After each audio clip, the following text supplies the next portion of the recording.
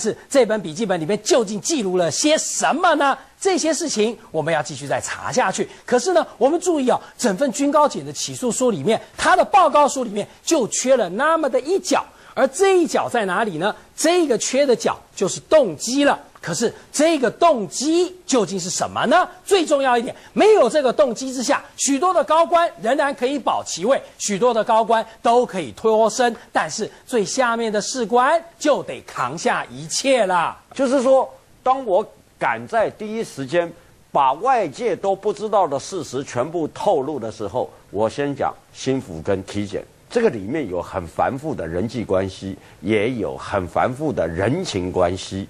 这个是八一三，但是关洪仲秋的动机，我们就必须要理解一个事实：是不是何江中经常找洪仲秋的麻烦，而范左宪也经常找洪仲秋的麻烦？我那个记得五十二旅的几个退役的也跟我见过面，他们谈，他说他是怎么得罪嗯。范左宪的各位晓不晓得？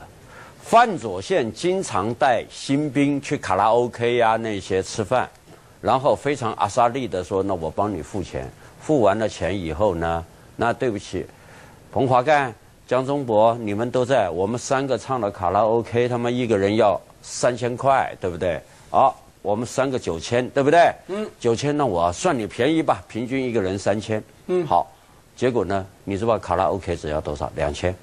啊，也也也用这种方式哦，那中间他还赚一手哎。对，嗯，其中有两个，一个是在一个是在杨梅附近的。各位，如果五十二旅愿意讲的话，可以把那个人的姓名讲出来。他是在杨梅，他们家就在杨梅。结果为了这些钱，呃，范左宪就暗示他们，你们应该还钱了吧？嗯。结果这个兵就去找了洪仲秋。然后他跟洪仲秋讲：“那洪仲秋究竟跟范左宪怎么讲？那我不知道。但是洪仲秋就是讲来讲去就一个人两千五，嗯，九千变成一个人两千五就是七千五。那换句话说，洪仲秋曾经跟这两个义务役的士兵讲，他说以后你们跟他出去喝酒啊、唱卡拉 OK 没有关系，你事先让我知道。”就是这件事得罪范左宪的哦，这也就是我为什么知道范左宪在军方放高利贷。那这种高利贷，我称呼地下钱庄跟地下银行，对不对？我是不是第一时间讲的？对，这个例子清不清楚？清楚嘛？你怎么得罪范左宪的？好，第二个，副旅长的派车问题，还有一个陈以仁，这个里面他跟陈以仁多次有。派公差职权上还有卑职心，还有其他方面的冲突。况且这个冲突是是非常厉害。陈以仁是不是讲过一句话？他说：“你再这样子干，我不会让你好过。”嗯。那洪仲秋你知道答了一句很白白目的话。他说：“你跟我一样都是那个班长啊，那我怕你干什么？”他的意思就是就是你白目的会跟人家这样子对嘴，因为。我在访查整个事件，那我发觉洪仲秋是一个非常喜欢讲话的人，是不是因言蛊惑，或者是他讲话他得罪了他的长官，这才是真正的动机。除了动机以外，我们看这一份军检报告，这里我都讲过了啊，这里我必须要讲，黄天任，你有没有电话打到二六九旅，叫他不要管那个这件事，叫他直接收。洪仲秋进禁闭室，到了进禁闭室以后，你管外面，不要管里面。嗯，等一下，就是他这样。所以说来，并不是郭玉龙自己直接私自收下来，而是由副旅长打了电话给郭玉龙的。对，但是这个里面，那我发觉军高检他做了一件事情是令人发指。嗯，然后他要陷郭玉龙什么？他要陷郭玉龙于不义。还要陷郭玉荣进黑牢，我这边让我念个一段哈，这个是军高检自己的东西，那我稍微念个一段。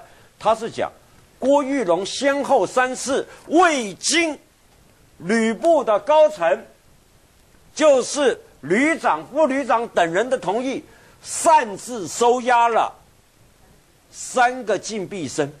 所以也就是说，整件案情的军官职责，所有的罪过，全部都在这宪兵官郭玉龙身上了。对，就到这边画条终止线了。对，然后他要帮黄天任跟杨方汉脱罪。他说：“因为那你官，好，因为那你官洪仲秋事先没有提报到吕布来，所以你就是说，按照你过去的记录，他们把郭玉龙的过去记录通通都查了。嗯，查了。他说你有三次，有一次哈更那个夸张，是六月十四号，哈要关那个。”他说六月十七号，这个人奉核定关禁闭，结果郭玉龙六月十四号就把他关起来了。嗯，那换句话说，这次那你关洪仲秋也是未经吕布核准，所以你的问题最多。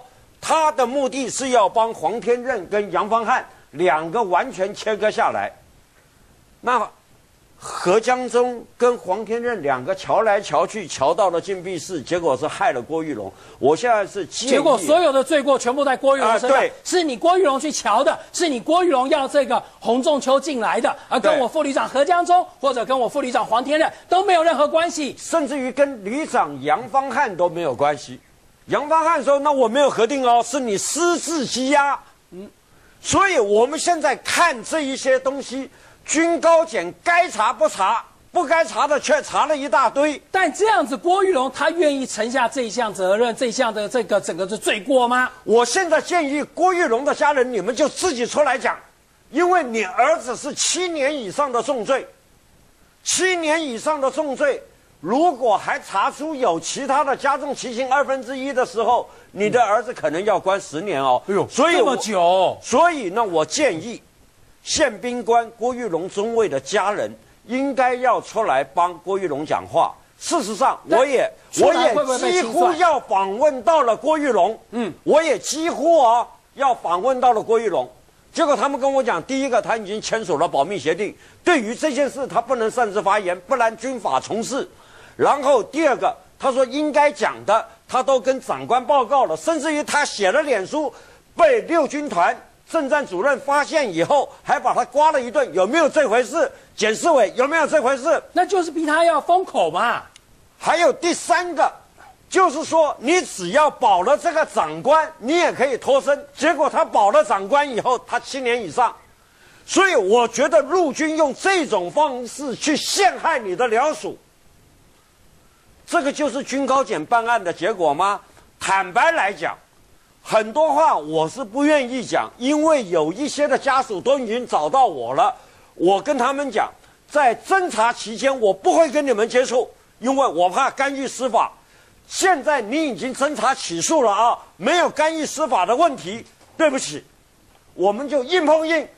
我还会揭露更多更多的实情，因为我要告诉你们，这个案子没有那么单纯。看一看。人事科的宪兵官郭玉龙，他最后变成是两六九旅里面顶罪的人了。而这个郭玉龙呢，现在这个时候他百口莫辩，他愿意承担这一切，他愿意护住他的长官吗？想想看，七年以上到十年的有期徒刑，哎，郭玉龙宪兵官，你现在如果继续封口下去，你可能就要在那大牢里面继续蹲下去喽。但我们再来说到。五四两旅里面的吴义竹，他的两部曲《死亡笔记本》不见了，但第三部曲是什么呢？灭证计划，灭证计划可是进行的非常透彻啊！你能想象说，在你的五四两旅旅部连的部队里面有一本死亡笔记本的存在，那你们这些军事官兵多害怕？对，随时都会烧到你们啊！所以洪仲秋会去关起兵，难道真的是单单因为一本？难道真的是单单因为一只照相手机就这样被关进去吗？当然不可能。还是你有别的原因呢？另外，大家有没有发现一件事？事情过了二十七天喽，家属得到的是什么？家属只拿到一本失而复得的大兵日记，但是这一本死亡笔记本，就连家属可能都不知道它的存在。我们就来给大家知道，最近到底发生了什么事？吴义祖啊，今天在起诉的十八位军官里面，大家可以看到，他真的就是是置身事外了。但是没有关系，大家不要灰心，军检不查，我们查。嗯，桃检还有第二波的起诉名单，吴一祖，你不要以为自己已经置身事外了，我们绝对会把证据咬到你也有事。大家还记不记得啊？在七月三号当天晚上，当当天早上啊，吴义祖跟范左宪两个人去了警闭室之后，洪仲秋就出事了。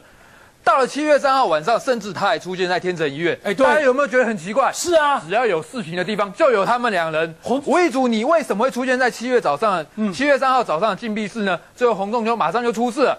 另外，七月三号晚上的禁天成医院哦，范左宪先前往，吴义竹再前往。哦，他们两个都去了，你们两个都去哦，大家有没有觉得很奇怪？奇怪的还不止他们在第一时间出现在天成医院，嗯更夸张的是，大家可能不知道，他们三个人在红妈红仲秋被送到三种之后，他们也在附近出现哦。哦，也到了三种了。吴义竹他还做了什么事？嗯嗯，当红妈妈急着要去三军总医院见洪仲秋最后一面的时候，他也去台北车站把红妈妈接去新竹的所以吴的三种。一竹还去跟红妈妈见了面，在台北火车站。对他好像之后呢说，再赶到三种去。对他好像说，我一个我是一个很尽责的辅导长，所以我赶快去把红妈妈再去见洪仲秋最后一面。啊啊，但是视频不是这样的。什？么？不是这样？怎么说？妈妈到了三军总医院，他们三个人做了什么事？什么事？他们把他们三个人把洪妈妈阻挡在急诊室外面。等一下，儿子都已经病危了，这个时候不让妈妈跟儿子见到最后一面，居然他们还阻挡不让妈妈见到儿子。他们以急急救为由，让洪妈妈没有办法在洪仲秋昏迷的时候去跟洪仲秋讲到最后一句话。嗯为的是什么呢？为什么？因为他们怕洪仲秋突然清醒啊，突然清醒会做什么事？嗯，把他生前知道的事全部讲出来，咬死他们三个啊！好、所以他们三个人就挡住了洪妈妈，不让她见到。你们就这样让他们，让洪妈妈跟洪仲秋两个人就这样天人有隔了，你们这样良心过得去吗？最后大家可能还不知道一件事，在整个洪仲秋已经昏迷要拔管被送回他的老家的时候，吴义竹、徐信正、范左宪他们也回到了五四两旅，回到五四两旅开始做了什么事呢？就是我们大家之前所知道的串供大会的开始。哦，他们三个人不是协助洪家，而是跑回去做串供大会啦。不是哦，他们回到那边，就像我们之前所提到的，他们开始觉得口径对外要一致。我们之前也说过，他们开始收集洪洞秋的相关资料。这收集是由谁起的头呢？嗯，我就跟大家说了，就是辅导长吴义竹起的头。哦，吴义吴义竹你做了。什么呢？你去邀，你去跟副连长刘延俊，还有一位潘姓士兵，你们做了什么？你们来到洪仲秋的内务柜前面，你们做了什么？你们在收洪仲秋的东西。嗯，把洪仲秋的东西都给收走了。你们不只是收啦，其实当下他们在针对洪仲秋的内务柜做一个检查跟清查的时候，他们还做出了一张清单，里面有什么呢？里面大概就是像洪仲秋一些生平的用品，黄埔书包、考试书籍、手机、大兵日记，还有一个东西，哦大家都忘记哦，黑色笔记本。哦，刚刚吴亦竹的二部曲里面提到的黑色笔记本，就是这个黑色笔记本。这黑色笔记本里面有什么呢？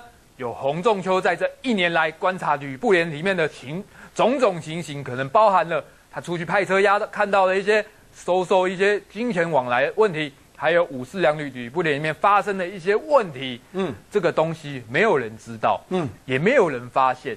最后回到了五四两旅之后，这些东西到了哪里去呢？到哪去了我？先跟大家说，大家还记不记得我们之前提到的陶简他说了什么？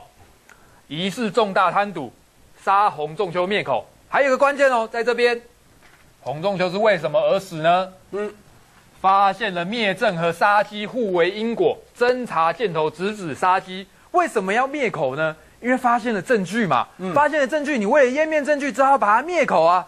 灭口，你又为了要去让把它灭口这一块证据消失掉，你们开始串供嘛，这整个是有因果关系连接在一起啦。大家有没有发现，这整个洪洞秋案件根本就已经不是单单的一个不当操练，而是一个准备灭口的情形。嗯，最可恶的是，大家还可能还不知道一件事哦，什么事情？军检，你们知道有这本死亡笔记本的存在吗？嗯，军检不知道吗？军检应该不知道吧？